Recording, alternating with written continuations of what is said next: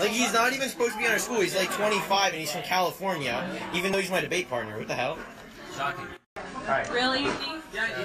Like he's not even supposed to be on our school. He's like 25 and he's from California, even though he's my debate partner. What the hell?